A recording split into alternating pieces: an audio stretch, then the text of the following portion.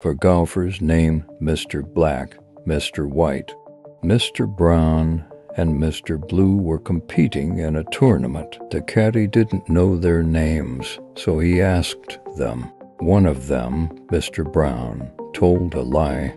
The first golfer said, The second golfer is Mr. Black. The second golfer said, I am not Mr. Blue. The third golfer said, Mr. White, that's the fourth golfer. and the fourth golfer remained silent. Which one of the golfers is Mr. Blue?